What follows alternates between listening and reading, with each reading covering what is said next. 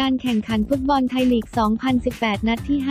5 มีลงแข่ง 4 คู่วันอาทิตย์ที่ 11 มีนาคม 61 ที่สนามแพทสเตเดียมเวลา 19 นาฬิกา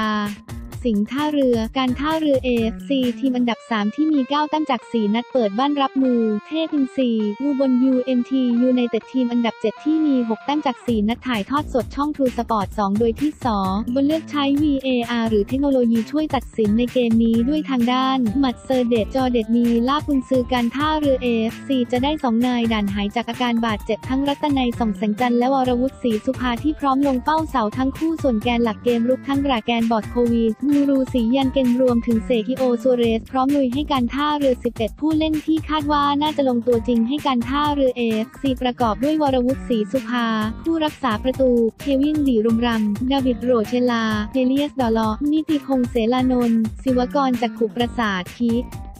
มอสองวาน เซกิโอซัวเรส มูรูสียันเกม บราแกนบอดโควีปกรณ์เปรมพักด้านมิทูปาดลายเน้นกุนซืออุบลยูเอ็นทียูในเต็ดจะหมดสิทธิ์ใช้งานหยดสวัสดิ์มนทาวิงซ้ายที่ติดสัญญายืมตัวจากการท่าเรือเอฟซีส่วนรายของปิยชาติถามพันธ์และวุฒิชัยทาทองพร้อมกลับมาเยือนถิ่นเก่าอีกครั้งหลังย้ายขาดไปแล้ว 11 ผู้เล่นคนแรกที่คาดว่าน่าจะได้ลงสนามให้อุบลยูเอ็นทียูในเต็ดประกอบด้วยสิทธิกรกล่ำสาย ผู้รักษาประตูนภัสจารุพัทรพักบริสเบอร์ซานโตสสุรีสุขะปิยชาติถามพันธ์วัชระเกลือรำนภัสจารุพัทรพักดี เคนตามายาซากิวุฒิชัยทาทอง อากีนันโดโพลีคาโป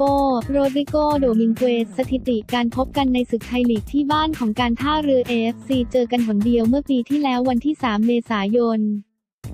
2017 การท่าเรือ AFC ชนะ 1-0